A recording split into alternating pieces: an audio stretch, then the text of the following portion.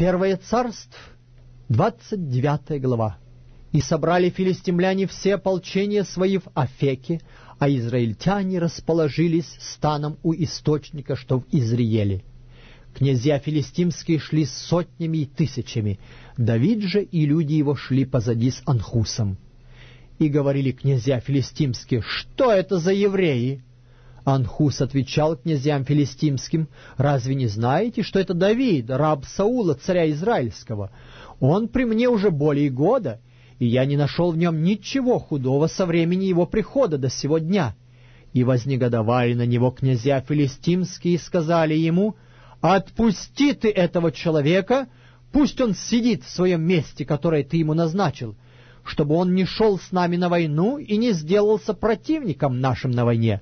Чем он может умилостивить господина своего, как не головами сих мужей? Не тот ли это Давид, которому пели в хороводах, говоря, «Саул поразил тысячи, а Давид десятки тысяч»?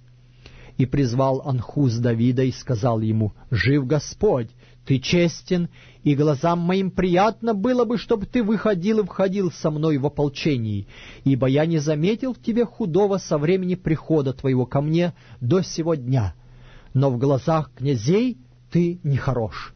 Итак, возвратись теперь и иди с миром, и не раздражай князей филистимских.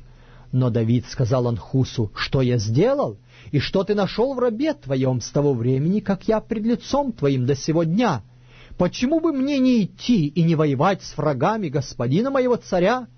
И отвечал Анхус Давиду, будь уверен, что в моих глазах ты хорош, как ангел Божий, но князья филистимские сказали, пусть он не идет с нами на войну.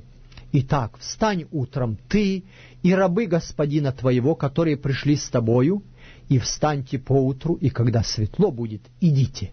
И встал Давид, сам и люди его, чтобы идти утром и возвратиться в землю филистимскую, а филистимляне пошли на войну в Израиль.